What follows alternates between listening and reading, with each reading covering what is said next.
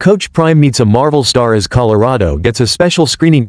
Coach Prime met Marvel star Anthony Mackie for a special event at the University of Colorado on Monday.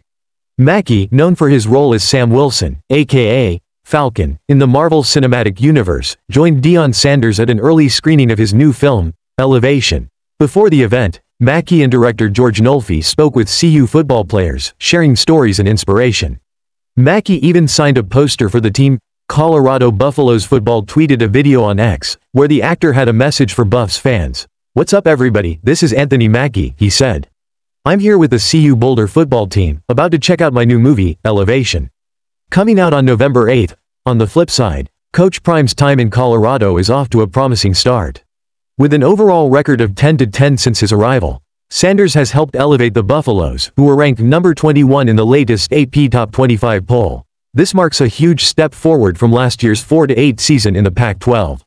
Now back in the Big 12, Colorado is enjoying newfound success and renewed energy. Next up, the Buffs, 6-2, 4-1 Big 12, head to Jones AT&T Stadium on Saturday for a 3 p.m. showdown with Texas Tech. 6-3, 4-2 Big 12, their second straight top 25 opponent.